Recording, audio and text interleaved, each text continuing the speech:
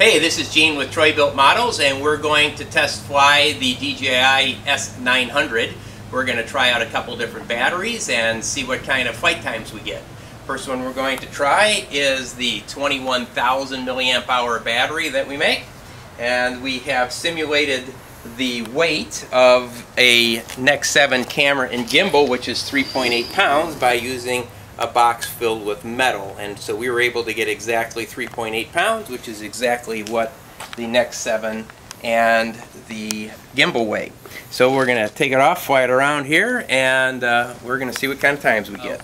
Looks like we're at about 17.2 pounds total weight, and that's with uh, what we have as about 3.8 pounds for the uh, Nex 7 and gimbal, which is uh, going to be a representative weight. Uh, the maximum weight for this is 18 pounds, so we're uh, just about a pound under total weight. So uh, that's where we're at.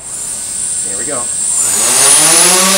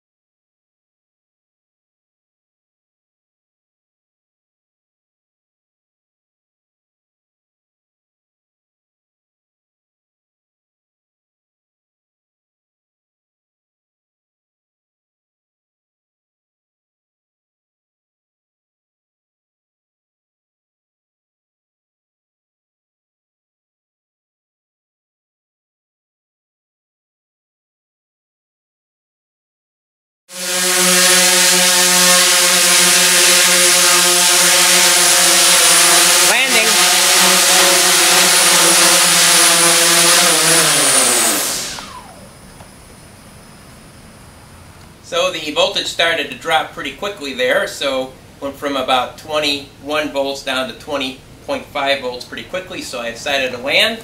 All the cells are down uh, about three and a half, so we're definitely down at the very end of this battery. And our total time was about 24 minutes and 45 seconds. So uh, that was a pretty good time.